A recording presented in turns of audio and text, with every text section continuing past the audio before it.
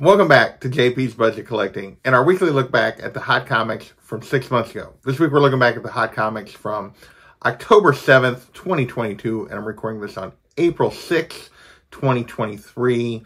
Uh, I give you those dates so you know when this information is actually relevant because the market is always moving and changing, as we will see as we look at the price differences in these books from just six months apart. Uh, as always, we're looking back at the CBSI Hot Top 10 and the Comic Tom Key Collector Hottest Trending Comics of the Week. Uh, each week, they put out a list of 10 books uh, that are trending in the market, that are either up in sales, up in price, uh, are really moving because of some sort of news. We look at what the factors were that made them hot six months ago, what's happened since, if anything, and how the market has responded to those books so that we all make a little better decision about what books we chase in the moment and what books we are patient on. Uh, this week we got 19 books to talk about again, so let's dig into this list. Uh, first up, we have Isom number one. Uh, this is basically, this is an indie, uh, independent comic being written by a very controversial author. I don't know a lot about it. I don't really interest me. I kind of avoid these political things if I can for the most part. Uh, but back then, raw copies right after release were going for 175 200 on the secondary market.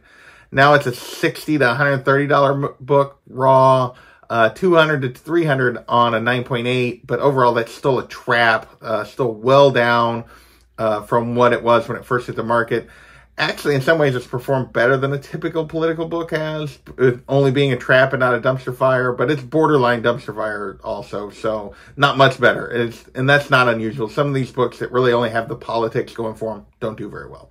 Uh, next, we have Spawn number one. Uh, we got news that there was a new director attached to the long awaited reboot of a Spawn movie. Uh, back then it cost 9.8 to jump up to 225 from their usual 175 ish.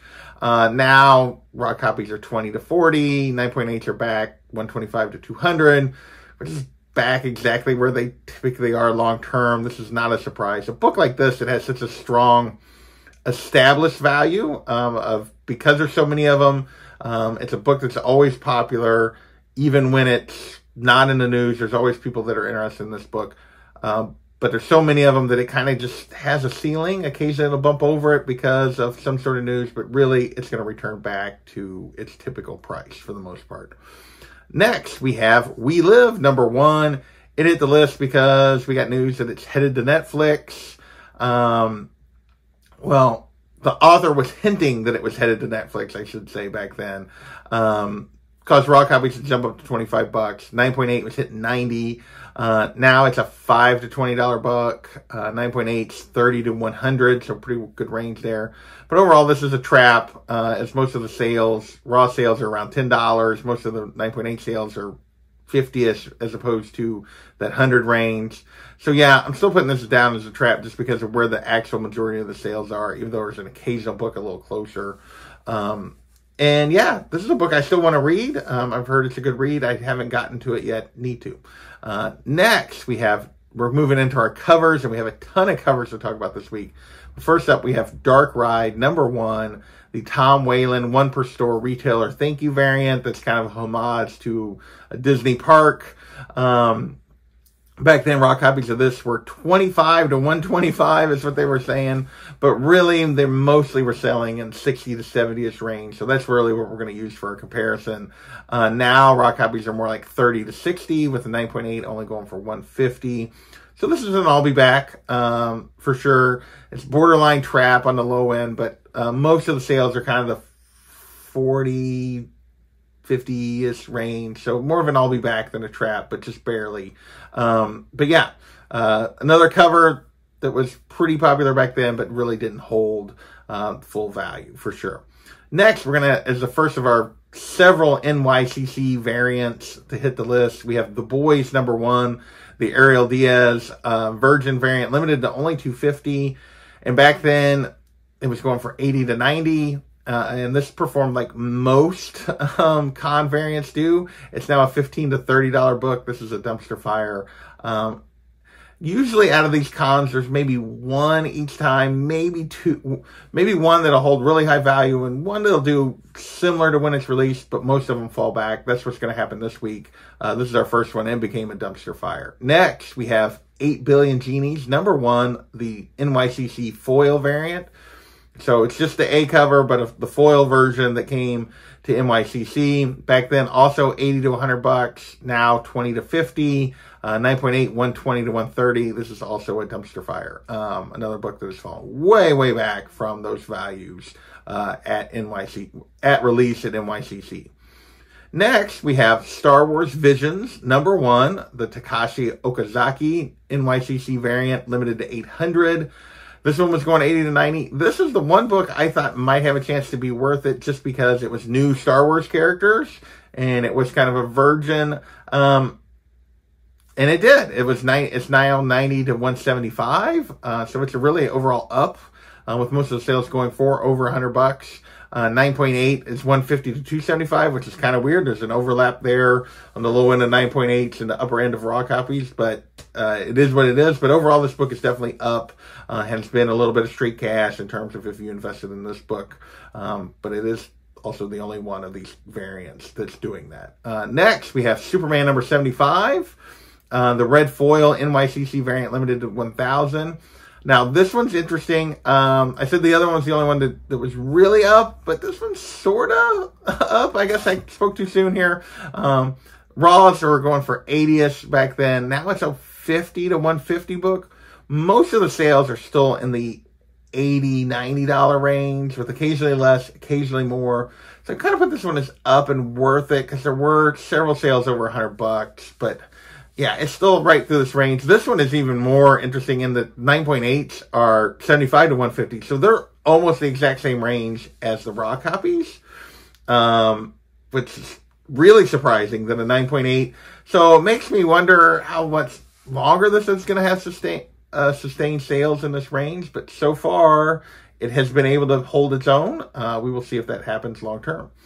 Uh, next, we have Batman number 126 uh, the Tiago de Silva NYCC variant. Um, oh, sorry, no, 126. I looked on the wrong line. This is the Tyler Kirkham NYCC variant, limited to 1,000. Uh, raw copies 120 to 140. So this was the hottest variant coming out of NYCC. And now it's the least popular one. It is 20 to 45, 9.8, 75 to 150. This is also a dumpster fire. Another take on these a ton of these Kirkham variants with battle damage characters, and this one has not held at all. Uh, next is Batman number 128. Uh, I look, that's where I got looking at the wrong line. The Tiago de Silva NYCC variant limited to 80. This was 70 $80 back then. Now it's 30 to $40. Uh, 9.8, 160 to 130. Uh, not quite a dumpster fire on this Catwoman cover, but definitely a trap and another book that you definitely want to be patient on. So out of what, six NYCC books, uh, two that did pretty well and four that were three dumpster fires and a trap. so that's not really surprising for con variants, really, that ratio. Uh, next, we're going to move into a little Sony spec. We got news Bad Bunny was going to be El Muerto in a Sonyverse movie. So we got Friendly Neighborhood Spider-Man number six, the first appearance of El Muerto on the list. Uh, back then, raw copies were going for 30, 9.8 going for 375. Uh, now, raw copy is 5 to 30. 9.8 still 3 to 375. So this is only an I'll be back. Uh, whereas I really kind of expected it to be more of a trap. Um, but really hasn't uh, fallen back as much as I would have thought uh, for El Muerto. All right, with that, we are down to just MCU books, although we still got seven books to talk about. Uh, first up on the MCU side, we have Wolverine Origins, number 10, uh, the first appearance of Daken. uh, Wolverine's son. Uh, back then, raw copies were going for 50, 9.8 hitting 300. On rumors that maybe he'd be part of Deadpool 3 along with Wolverine. We will see now raw copies are 25 to 75, 9.8 250. So really right in the same range call this kind of a steady and I'll be back. You could do a little bit better, but for the most part, it's pretty close to what the values were back then. Uh, next, we have Deadpool number one from 1997, uh, the first ongoing series. Uh, the start of Deadpool kind of breaking the fourth wall was the series, and really kind of setting up his personality that would carry on through the comics. Uh, really, if you read Deadpool before this, he isn't really the same character we see now. Um, back then, raw copies were going for 50, 9.8 to 80. Now it's 35 to 80, 9.8 to 75 to 300. So again, right in the same range. I would call this one actually steady and worth it, uh, as the values are a little more consistently at the previous value or higher uh, as compared to the Wolverine Origins book, which was more at that value or lower. But yeah, so still right in the same range. Another book that's been very steady over the last six months. Uh, next, we have Hulk number one from 2008. Uh, first cover appearance of Red Hulk. He doesn't actually appear in the book until issue number two. But this is based on rumors, or well, at the time, rumors. Uh, we knew that we were getting Harrison Ford as Thunderbolt Ross uh, on a recast uh, with William Hurt passing away, but this was based on that we might actually see Red Hulk version of Thunderbolt Ross because um, sort of was mentioned in She-Hulk. Uh, back then, raw copies were going for 70, 9.8 up to 300. And now it's 50 to 80, 9.83 to 325. Another steady book, 9.8 side kind of worth it. Raw side maybe on the I'll be back side. Overall, I just kind of put it as steady and worth it. Um, but a book that, yeah, it's been holding right in that same range, uh, like all of the last three. Uh, the rest of the MCU books, not quite so much. Uh, next, we have Man Thing, number one, first solo title for Man Thing. Uh, this was obviously in the lead up. Actually, about now, it was coming out, the Werewolf by Night special that Man Thing appeared in. 7.0s were hitting 240 back then. 9.0 hitting 400. Uh, now 7.5 only costs you 150. 9.4 will cost you 350 to 400. So clearly down. I couldn't find any sales of a 9.0 or a 7.0, but overall, just the book is way down on the graded side. Raw copies 25 to 175 really depended on condition. So quite a pretty good range there. But overall, this is definitely down in a trap. Uh, that you can get higher grades for lower values than back then tells you all you really need to know. Uh, next, we have Iron Man number 225, uh, the start of the Armor Wars storyline. And obviously, we know this was based on news that the Armor Wars was going to bump from a series to a movie. Uh, and that caused raw copies to jump to 25 bucks, 9.8 going for 240. Uh, no recent 9.8 sales, but now it's a 5 to $25 book, uh, with most of the sales still in the 10 to 20ish range. So I put it as an I'll be back, but borderline my prediction of a trap right here. But yeah, most of the sales were on the upper end of that 5 to 25, but definitely a cheaper book uh, than it was back then. All right, uh, three more books, uh, two more of which are Iron Man related. We have Infamous Iron Man number one, the first Tony Stark as an AI.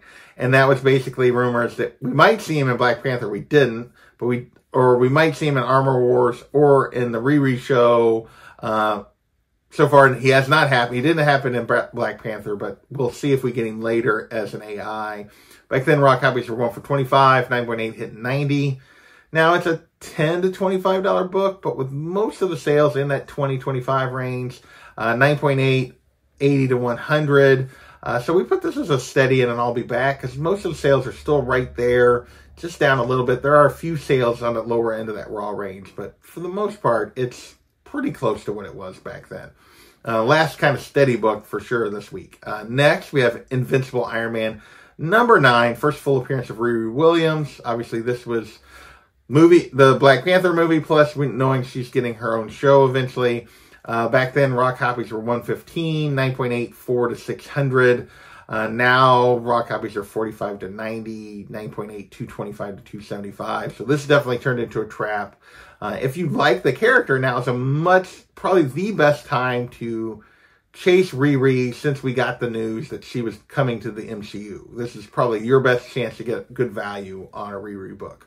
Um, so next, our last book is Black Panther, number one from 2009. First cover of Shuri as Black Panther. She doesn't actually appear as Black Panther until issue number five. But back then, this cover was going for 100 raw, 9.8, 525 in the lead up to the Black Panther movie because the trailer all but confirmed that she was going to be Black Panther. Uh, raw copies then were t- are now are all over the place, literally 10 to 100 the the lower sales though are the more recent ones, but yeah, even, but the $100 sale isn't a month old. I mean, so it's it's a wide range here on raw copies. Same thing with the 9.8, 150 to 350, uh, with the most recent 9.8 being the lower end. But yeah, again, this book is a little bit all over the place over the last months. I think the pattern is that it's still coming down, uh, and probably you'd want to be on the lower end of these values for sure. But there's enough sales sustaining it a little bit higher that you you know it's hard to really lock down where the value is at the moment. But overall, this is still definitely a trap. Um, I really enjoyed the Black Panther movie, but uh, yeah, it definitely has not held value. But that's been the case with all these MCU books in the last couple of years. So with that, I want to thank you guys for watching once again. We've actually been overall this last year. We've had a we continue to have mostly down, but we're back getting at least a few ups, a few more steadies than we have been. So maybe the market is doing a little bit more of a stable. We're more back to where the long-term averages is in terms of the number of up, steady, and down books that we should expect. Um, but we will see where things go from here. I want to thank you guys for watching, and we will catch you next time.